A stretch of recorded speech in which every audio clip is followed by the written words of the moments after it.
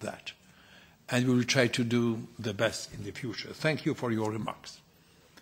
And Madam Miriam Dalli, so-called other speakers.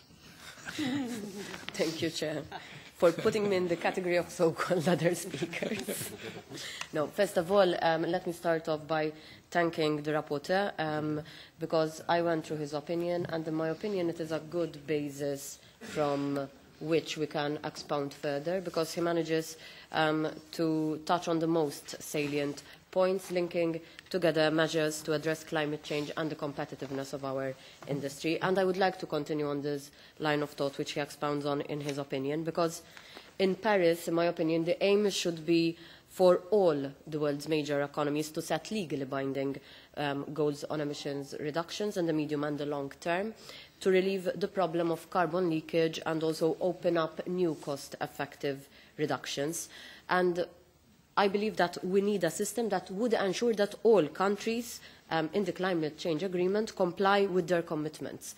Fine, um, as was said also earlier, support should be given where needed, but all countries should be held accountable in case of non-compliance.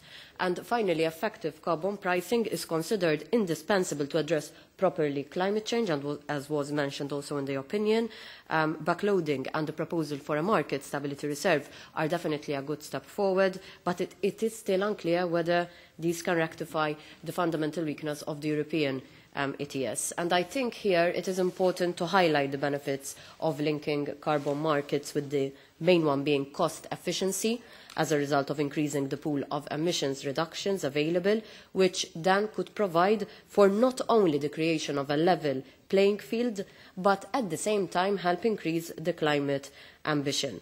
Some of the points that I would like to see um, emphasised in the opinion um, is the link that exists between climate change and the marine environment, and also the blue economy, which we voted upon earlier today, and also vis-à-vis -vis transport, being the second biggest greenhouse gas emitter um, after the energy sector.